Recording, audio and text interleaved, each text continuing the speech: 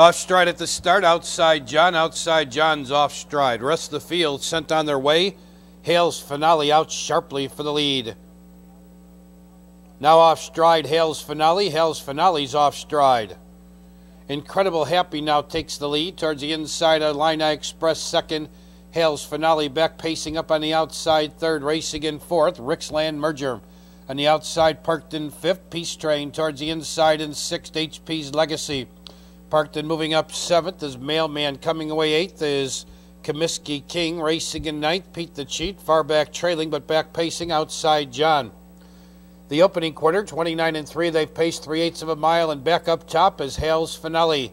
It's Hales Finale, the leader, racing up on the outside. There goes Mailman fourth, now third, now second, going up after the lead. Racing in third is Incredible. Incredible Happy. Illini Express fourth, racing in fifth. Peace Train, they're halfway home, 58 and 3.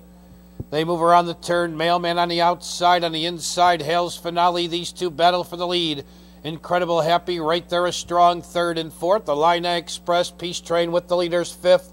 Comiskey King four lanes back in fifth, in sixth. That is. Then it's a five-lane gap to HP's Legacy. Dropping back sharply on the turn was Pete the Cheat.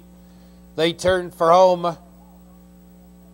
On the outside, moving up to challenge and take the lead now comes Incredible Happy. Make that on the outside, coming on in the stretch. That's Peace Train. Now it's Peace Train getting the lead, racing up on the outside. Second, Illini Express dropping back sharply was Hales Finale.